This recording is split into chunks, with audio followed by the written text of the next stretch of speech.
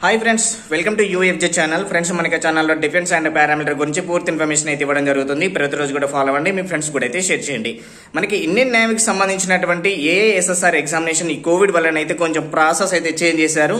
రాసిన వాళ్ళు ఎవరైతే ఉంటారో వారికి ఆల్రెడీ అయితే తెలిసింది. కొత్తగా ఎవరైనా వెళ్దాం అనుకున్నా కానీ లేదంటే నేవీ ఎంఆర్ సంబంధించినటువంటిది అప్లికేషన్ చేసినా కానీ ప్రతి ఒక్కరు కూడా అయితే యూజ్ అయ్యేటువంటి ఇన్ఫర్మేషన్ అనమాట ఇది.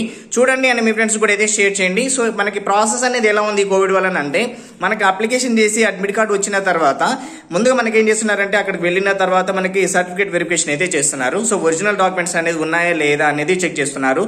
ఇది కనుక ఉన్నాయనుకోండి మనం వెంటనే ఎగ్జామినేషన్కి అయితే వెళ్దాము. ఎగ్జామినేషన్ కూడా మనకి పెద్దగా ఎక్కువ మందికి అయితే పెట్టలేరు ఒక ట్వంటీ టు ట్వంటీ ఫైవ్ మెంబర్స్కి అయితే పెడుతున్నారు చాలా దూరం దూరంగా కోవిడ్ రిస్ట్రిక్షన్స్ అన్ని కూడా ఫాలో అవుతూ.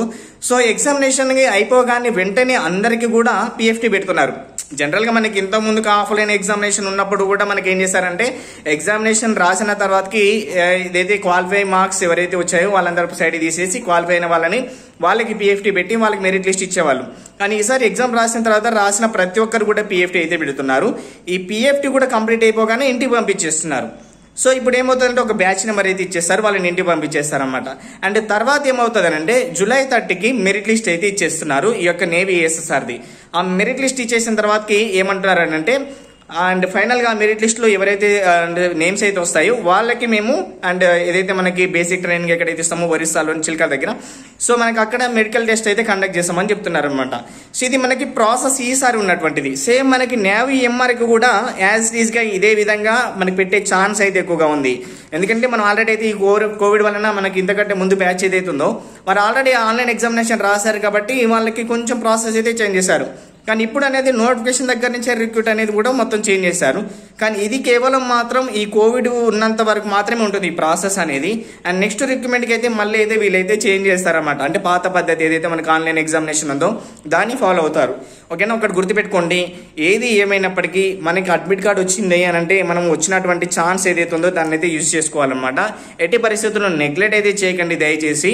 సో ఓకేనా సో ఇదనమాట ప్రాసెస్ అంతా ఒకసారి చెప్తాను చూడండి. అడ్మిట్ కార్డు వచ్చిన తర్వాత మీరు ఎగ్జామ్ డాక్యుమెంట్ వెరిఫికేషన్ ఉంటుంది. డాక్యుమెంట్ వెరిఫికేషన్ అయిపోయిన తర్వాత ఎగ్జామినేషన్ ఉంటుంది. ఎగ్జామ్ ఎగ్జామినేషన్ అయిపోయిన ప్రతి ఒక్కరికి పిఎఫ్టీ ఉంటుంది. పిఎఫ్టీలో క్వాలిఫై అయిపోతారు కదా?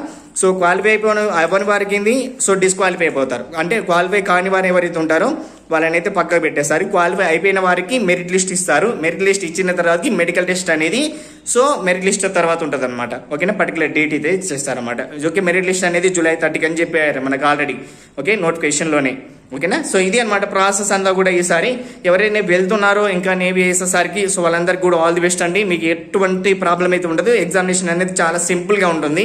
మీరేం బాధపడాల్సిన అవసరం ఏం లేదు. ఓకేనా? నేవీ ఎంఆర్ కూడా చాలా ఈజీగా ఉంటుంది. ఓకేనా? సో ఆ పర్సంటేజ్ ఎంత పెడతారు ఏంటి అనేది మనము ఫర్దర్గా డిస్కస్ చేద్దాం. ఓకేనా? So thank you friends thank for watching all the best